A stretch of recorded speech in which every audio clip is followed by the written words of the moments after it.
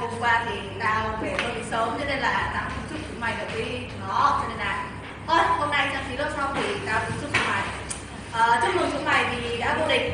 À, và bây giờ chúng mày lên cố gắng nhưng mà cho nên là bọn tao cũng rất là ghi nhận chúng mày.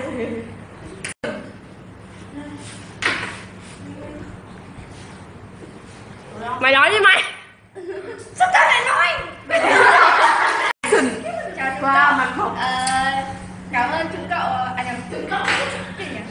Các cậu đã bóng hay lắm.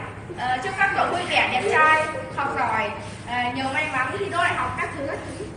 Tạm biệt. À, Chúc các bạn cha đất mình luôn mạnh khỏe, tràn đầy sức sống như tuổi 17. Ờ, chúc mừng các cậu đã chiến thắng. Mày ở đây. Chất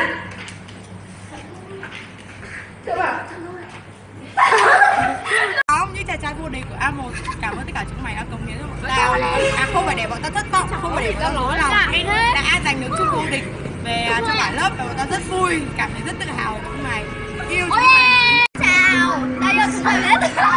hai bố thầy cho chúng mày rất nhiều. Toàn bộ con trai ta cảm ơn chúng mày vì đã không khiến con gái phải dối lòng. Hôm nay một cái buổi tối rất vui. Tay cho chúng mày.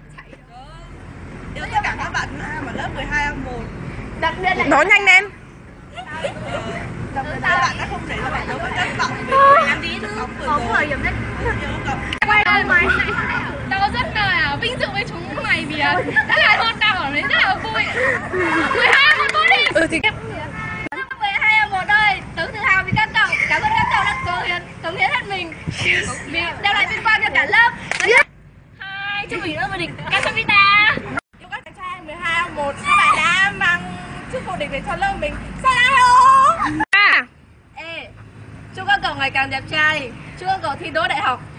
Một. Hai ba. À, tao muốn nói là tao yêu chúng mày. Từ từ.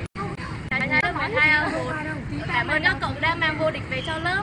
Ờ, tự hào về các bạn ờ, đẹp trai nhất hai bàn đầu. Hết. Sau ngày 20 tháng 11 là lần lần này là sẽ hết uh, hoạt động. Là mong các bạn là sẽ cố gắng tạo nhiều kỷ niệm hơn. Các oppa ba nhiều nha các tình yêu chàng trai lớp 12 một những người đã làm tim tao đập nhất nhanh nhất trong lịch sử tao yêu chúng mày Không phải. Ô chết mẹ. Tí ơi, tí ơi. Em nói em mày ấy không biết